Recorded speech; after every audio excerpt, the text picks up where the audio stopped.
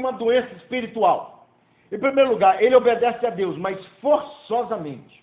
O versículo 2 diz que Mica teve uma conversa com a mãe dele. Mica tomou 1.100 moedas, vamos botar 1.100 reais da mãe dele, e guardou esse dinheiro. E nunca disse para a mãe dele onde estava. Como se o seu filho pega o seu dinheiro e não diz nada. Aí a senhora fala: Maldito é aquele que pegou meu dinheiro. A mão de Deus vai cair em cima dele e ele vai morrer. Aí seu filho, mãe, você sabe que é dinheiro que sumiu? Pois já estava comigo. Depois que passou muito tempo, né? É, se as mães aqui do Brasil estavam com você, olha o tapa no meio da cara, cadê o dinheiro? Agora, seu sem vergonha. Mas a mãe dele tinha um respeito grande pelo filho.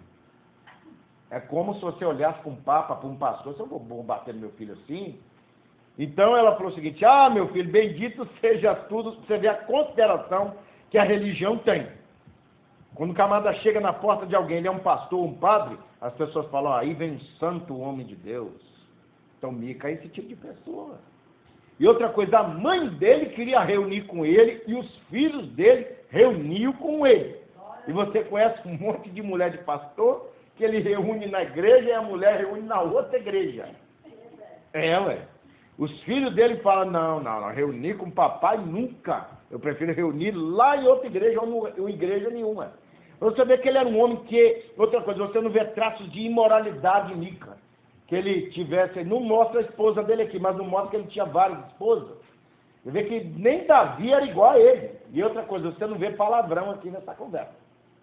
Mas era um homem extremamente perigoso. Perigoso, irmão. Religião, irmão, o que é religião? O dicionário define religião como culto prestado a uma divindade. Segundo sentido, doutrina ou crença religiosa. Terceiro, acatamento de coisas sagradas, ou seja, doutrina da igreja. Quarto, vida religiosa.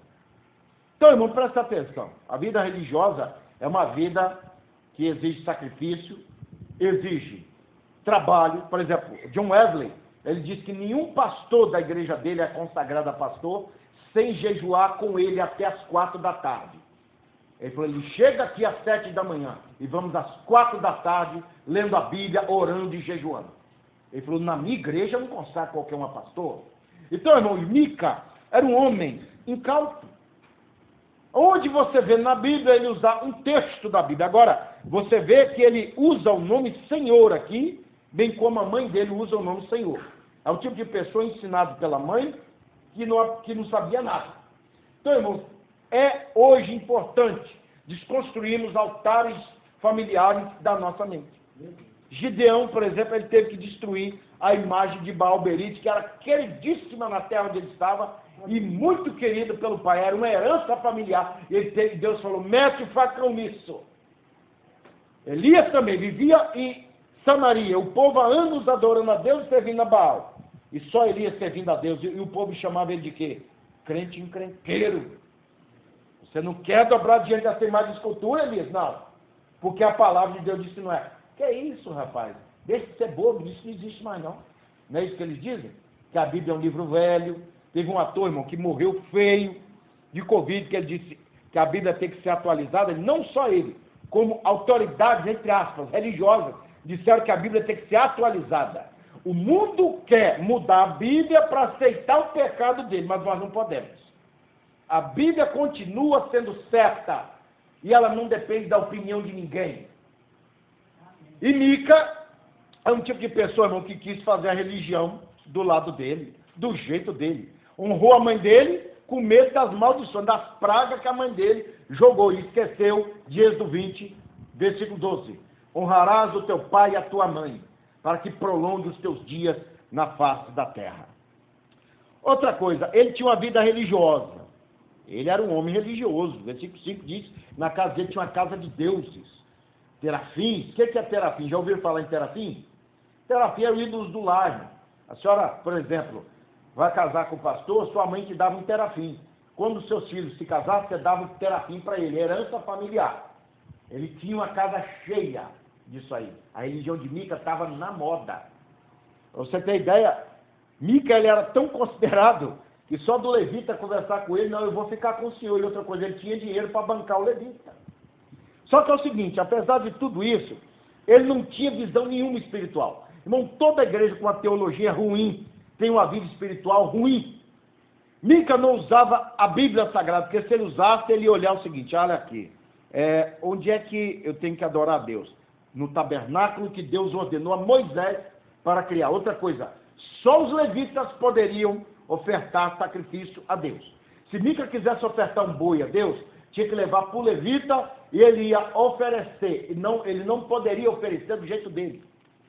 Então, irmãos, outra coisa. De acordo com as escrituras sagradas, ele não poderia ser pastor presidente de uma obra. E ele consagrou um filho dele a sacerdote, como consagrou um levita a sacerdote. Outra coisa, nem todo levita era um sacerdote, mas todo sacerdote era um levita. Ele tinha que olhar, conversando com, com o levita, dizer o seguinte: vem cá, você é levita? Sim. Vem cá, você é de qual tribo? De qual família entre os levitas? Ah, eu sou da tribo de Gerson. Ah, não, você não pode ser sacerdote. Só os da tribo de Arão poderiam ser sacerdotes. Então, irmãos, hoje nós temos que tomar cuidado com pessoas que recebemos na igreja ou como pastor, ou como evangelista. Eu já tive problema com pessoas assim. Então, por isso, que na nossa igreja, antes de alguém ser recebido no altar, é necessário conhecer bem a pessoa. Mica apenas conheceu Levi, você? Levita, dia de Belém, a terra do pão. Rapaz, que bênção, meu Deus do céu. Olha só, Deus está trazendo um levita para a minha igreja, um levita cego espiritualmente. Irmão, você tem três coisas que os levitas tinham que fazer. Uma delas é ensinar a lei de Deus.